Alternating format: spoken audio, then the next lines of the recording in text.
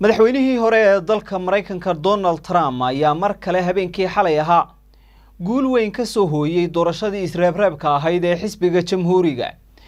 Ee gobolka new hampshire trump ayaa kaga adkaaday musharaxadda niki heli waxaan u helay boqolkiiba konton halka musharaxaddaasi oo ah gabadh dhalasho ahaan ka soo jeeda dalka hindiyana ay heshay boqolkiiba afar iyo afartan waxaana haatan uu u dhow yahay in xisbiga jamhuurigu uu si rasmiya ugu caleemo saaro si uu ula tartamo si uu tartanka madaxweynenimo ula galo.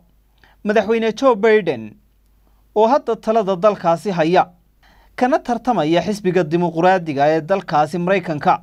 Dadka saadaaliya siyaasadda dalkaasi ayaa u badinaya inay trump iyo joe baiden ay isugu soo hadhayaan tartanka maadaama oo ay haweenaydii niki heli lagaga guulaystay gobolladii natiijadooda lagu xisaabtamayey dhinaceeda niki heli ayaa ay wararku sheegayaan inay si aada ugu xisaabtamayso gobolka south carolina oo ay guddoomiye ka ahayd. Islamarkaasina ay sheegtay inuu dhaqaalo badani kaga baxay ololaha gobolkaasi ay kaga jirto. Trump oo horey uga soo noqday madaxweyne dalka maraykanka waxaa dacwado kala duwani kaga socdaan maxkamadaha dalkaasi. Kuwaasi oo ay ka mid yihiin dembiye u geystay doorashadii tan ka horreysay ee ay baiden tartamayeen.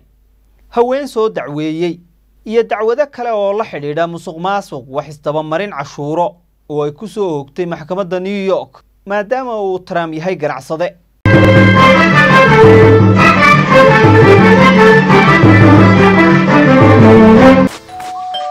maasha soo dhowaada.